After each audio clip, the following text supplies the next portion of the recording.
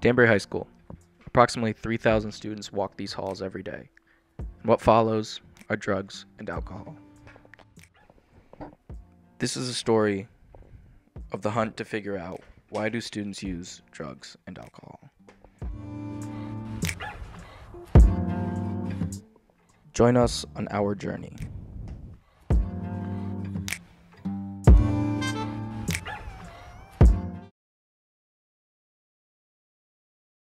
We asked the student body, Have you ever done drugs? 115 people answered. Here are the results. As this chart shows, 42% of students have not, while 58% have. Well, more than half of the kids have used them. We asked the same 115 kids, What kind of drugs have you used? These are the top five most used drugs at DHS.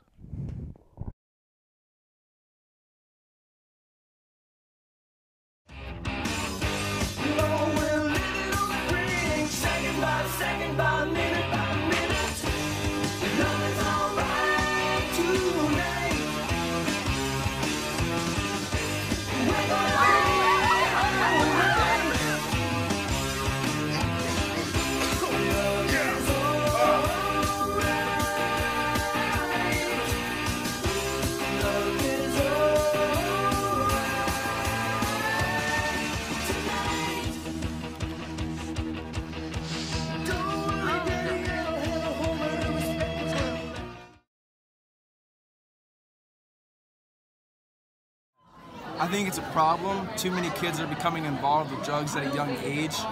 Uh, they're starting to become psychologically dependent on drugs, and with the uh, increase in dab pens, it's much more uh, concealed, and it's becoming a problem in DHS, definitely. I definitely think it is a problem.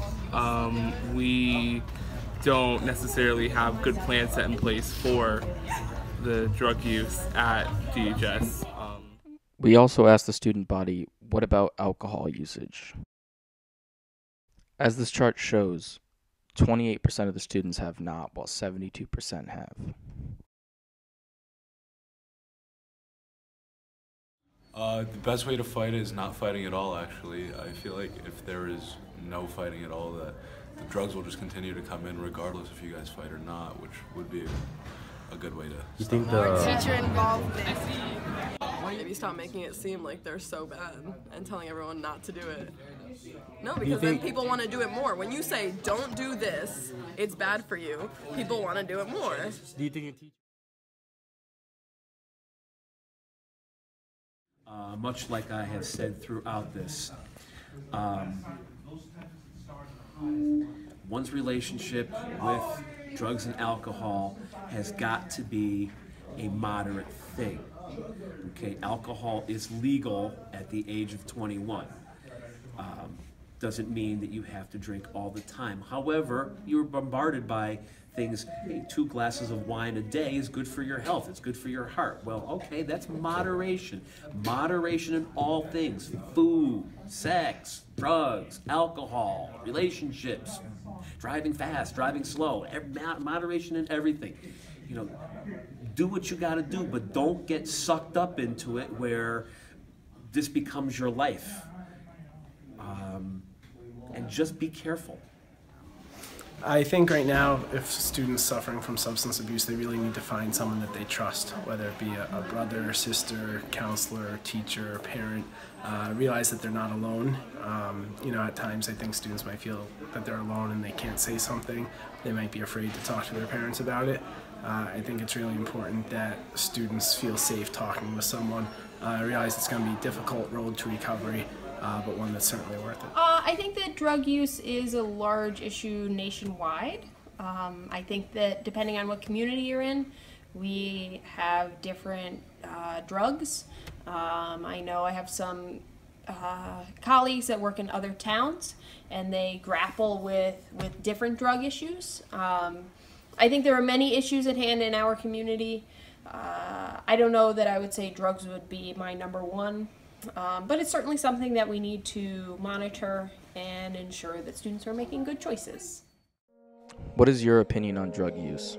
Here are your actual answers.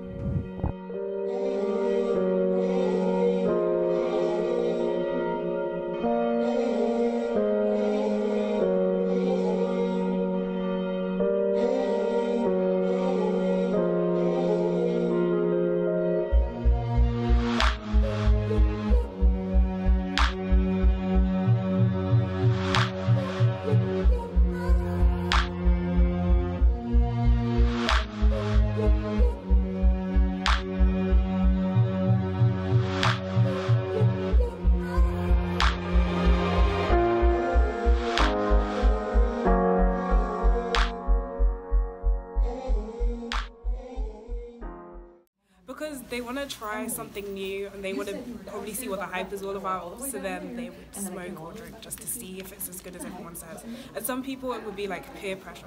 Students are struggling with more outside of school than they did when I first started here.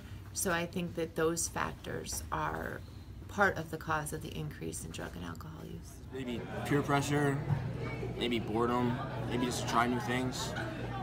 Just, you know, regular stuff. I think students use uh, drugs or drink alcohol uh, mostly out of boredom or because it's the cool thing to do. That's what their friends are doing. Uh, so it's kind of, they perceive it as socially acceptable.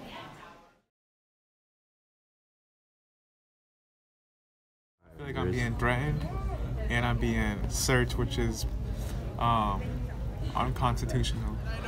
Um, I think the dogs are a little much, honestly. I think that having the dogs come in is just, I don't know, it scares people, which I, I guess is a good thing. But Dog searches, I understand why they're doing it. They don't want kids to be doing drugs, and that's understandable. But like, I don't know, like, it is kind of like extra to me a little bit.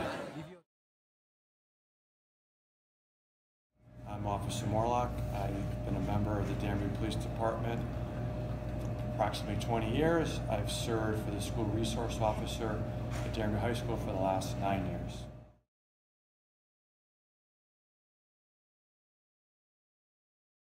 Question. It's definitely an issue. Um, we're more reactive than proactive. So if you come to come to class reeking like marijuana, marijuana, especially burnt marijuana, is very distinctive. So if you come into class, you smell like marijuana, what the teacher believes is marijuana, your eyes are red and glossy and bloodshot, you're lethargic, you think the teacher might say, hey buddy, let's go down and take a visit to the nurse, most likely. Um, so that's what we're more reactive. We're not like hiding out in the bathroom looking for kids who are coming in and smoking. So that's the only way we really catch kids. So I think I'm going to reveal my age. I'm 50. So I graduated high school in 19 a long time ago. So I think alcohol. So you got to remember, back in those days, the drinking age was 18. So think about it. How old are you guys? 17. So I turned 18 when I was my senior year in February. So you could actually go after school and go down to the local liquor store and buy a keg of beer or buy booze, right? Legally. And we had keg parties. There's more of a drinking culture back then, for sure. Did kids smoke marijuana in the 70s? Yeah, they did. Today, with, with the onset or advent of being legalized in Washington State and Colorado, I think the message has been sent across the country, oh, weed is good, it's natural, helps me sleep, all this nonsense. So I think there's, again, there's more of an uptick nowadays because of culture. It's more mainstream. A lot of pop artists do it. They rap about it, they sing about it, etc., etc. So definitely drug and alcohol problems back then. I think it's, I think there's more prescription drug issues nowadays with the opioids, etc. That really wasn't an issue 40 years ago.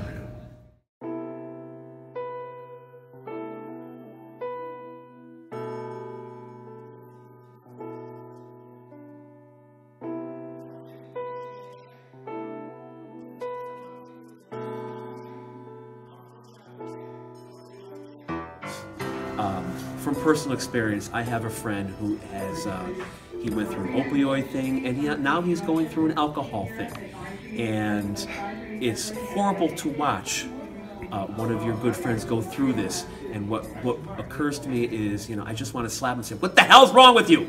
Get this done. Be done with this." But you can't because you got he got sucked up onto, into it, and he can't stop. And a behavior that is like that and you just can't stop, that's no way to live life. Um, so again, I said it what a dozen times, moderation.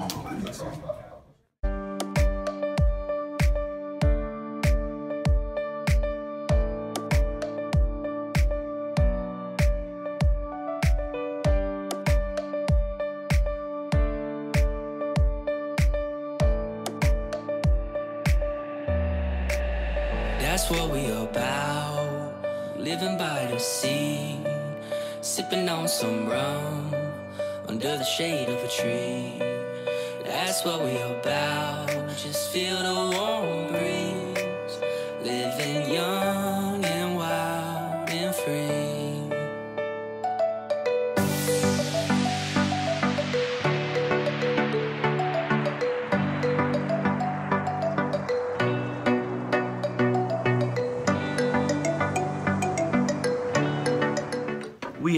noticed that Danbury High School is a place of growing drug and alcohol use. Bathrooms and hallways reek of weed. Students found new ways of using drugs in school. Students are using Juuls, vapes, and dab pens. Things are getting out of hand. And we want to make everyone aware. There are consequences for using drugs and alcohol.